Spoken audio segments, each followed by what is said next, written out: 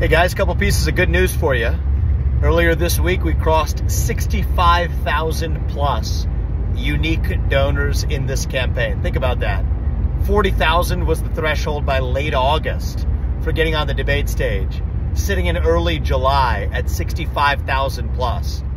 The other thing is this week we just launched a program that said that it's not just going to be a political oligopoly anymore of fundraisers who get to bundle donations and keep 10%. Now anybody can do that for the Vivek 2024 campaign. That was the kitchen cabinet program we launched earlier this week. I'll give you special guidance on how to do it. All you got to do is sign up. In the last few days alone, we're close to a thousand people who signed up for the Vivek Kitchen Cabinet program, going through all the training and everything else. I want to cross a thousand soon. You know, the joke is for Joe Biden, they said for all of the nonsense that he was involved in, you might remember the expression 10% for the big guy. We flipped that script 10% for the little guy. And you know what? I think the little guy is actually going to end up doing a lot better than the big guy once this program actually succeeds. And so I'm excited.